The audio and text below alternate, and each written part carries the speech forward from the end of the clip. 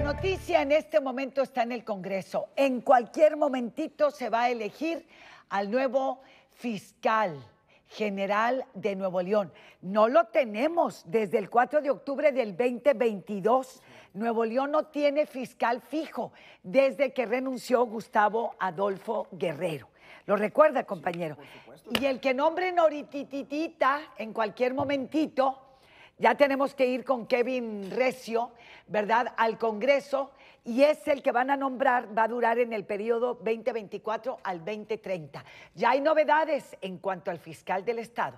Adelante, Kevin, te escuchamos y te vemos. ¿Quién es? ¿Qué tal, licenciada? Muy buenas tardes. Le comento que ya se ha elegido a Pedro Arce Jardón, el actual encargado del despacho de esta fiscalía, como nuevo fiscal general de justicia para el periodo que bien señala usted. Ahorita y en estos momentos una comisión de diputados fue eh, por el elegido para que en este caso ya rinda la protesta como fiscal general y que comience los trabajos ya como titular.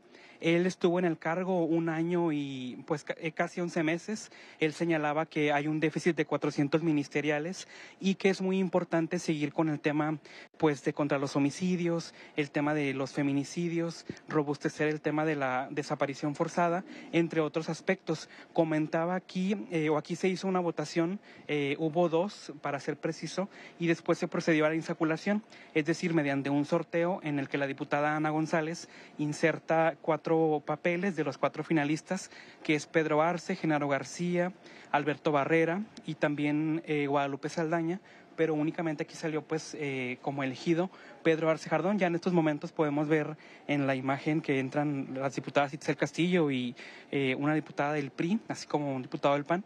Eh, para eh, darle entrada a Pedro Arce y pues proceda ya a la toma de protesta para que haga sus trabajos como fiscal general de justicia, que él tiene atribuciones, bien sabemos, como de presentar un presupuesto, estar al pendiente de la Procuración de Justicia y lo más importante que es trabajar en coordinación con el gobierno del Estado, con los municipios y con la federación. Él decía en una entrevista para este importante medio de comunicación que debía seguir eh, pues la coordinación, que no tenían por qué estar peleados con una persona eh, en particular, sino que para pues mejorar el tema de los delitos. Recordemos que los homicidios van a la alza, también los feminicidios. Eh, un tema también importante es el tema del despojo en Santiago, en Allende, y estos delitos, él, sin duda, y vemos en la imagen ya que ingresa Pedro Arce Jardón, y le van a tomar la protesta eh, Ricardo Gramati como presidente del Congreso. En la imagen hay diputados únicamente del PRI y del PAN. Morena dijo que no iba a participar y Movimiento Ciudadano pues desde febrero no entra a las sesiones. Eh, esto es muy importante porque finalmente ya tenemos a un fiscal. Él sería la segunda persona como titular.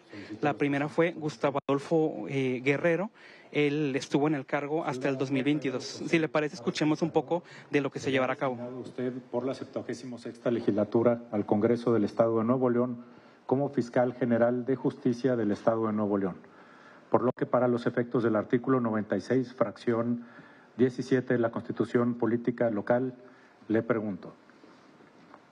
¿Protestáis guardar y hacer guardar la Constitución Política de los Estados Unidos Mexicanos, la del Estado de Nuevo León y las leyes que de ella emanen y desempeñar leal y patrióticamente el cargo de fiscal general de justicia del Estado de Nuevo León que se le ha conferido? Sí, protesto. Si no lo hiciereis, así que la nación y el Estado os lo demanden. Muchas felicidades. Bueno, ahora sí ya es oficial, ya es fiscal general de justicia. Saluda a algunos diputados y en unos momentos más dará eh, declaraciones. Estas primeras declaraciones ya como fiscal, que estaremos ahí al pendiente de lo que indica Pedro Arce, licenciada.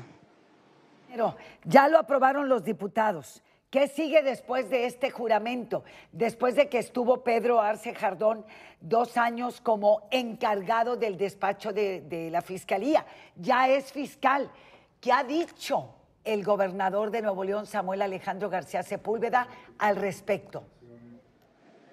Él recordemos que el viernes pasado promovió una ampliación de queja ante la Suprema Corte. Esta mañana se hizo una audiencia para pruebas y alegatos, pero no procedió eh, pues gran, un gran tema ni para el Ejecutivo ni para el Congreso. Ahora Pedro Arce dijo la semana pasada en entrevista para Telediario que él va a buscar eh, propiamente pues al gobierno del Estado para continuar con esta coordinación. En redes sociales estaremos al pendiente de lo que indique el gobernador, si él va a decidir vetar este acuerdo, que aunque es una facultad del Congreso la designación, él puede vetar esta designación argumentando que la Constitución se lo permite. Ahí vemos a Pedro que sigue saludando y se va a ir por las oficinas del PRI con el fin de salir de este edificio legislativo, eh, pero esperemos que dé unas palabras ya como fiscal general de justicia.